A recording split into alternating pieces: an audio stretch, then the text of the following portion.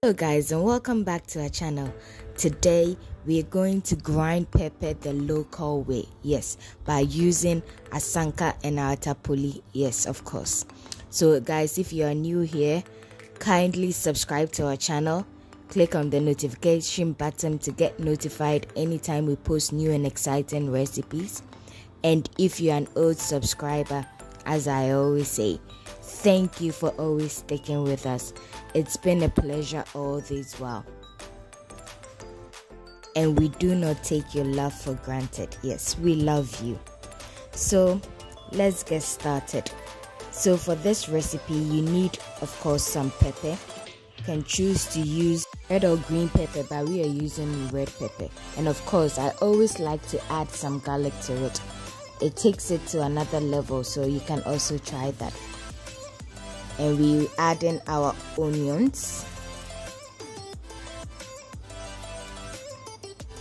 We dicing it this way to make the grinding very easily i always prefer to dice it so as to make it very easy to grind. Of course you add some salt to taste. Very important so with this process you need a bit of strength because you're going to grind it with all your strength till you get a smooth paste.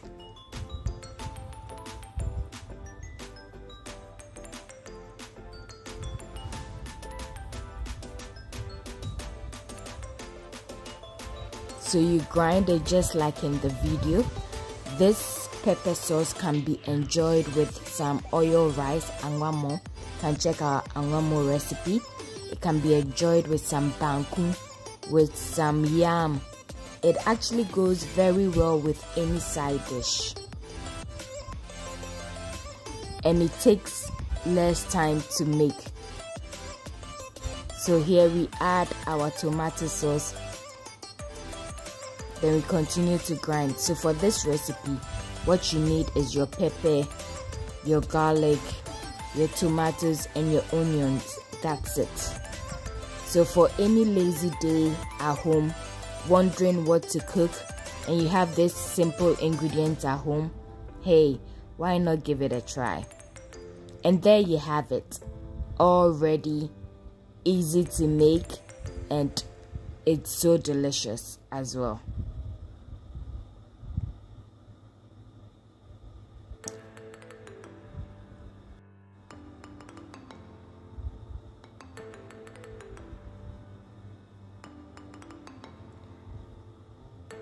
I always like to grind it so that I don't see any seeds in my pepper. But as it's your food, you can also choose any which way you want it. But this is always the preferred way I like to make my pepper. And this can be enjoyed with some kenkey as well. Of course, some kenkey. When you top it up with some protein of choice, of course. And here we're pairing ours with some banku and yam on the side. And we're pairing it with some tilapia as well. So you can always pair it with any side dish of your choice.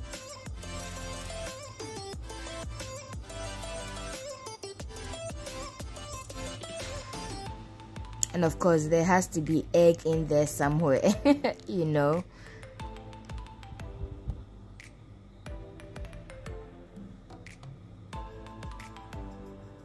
So here we're topping it up with some corned beef and some flake, tuna flakes, yes. And some yam on the side.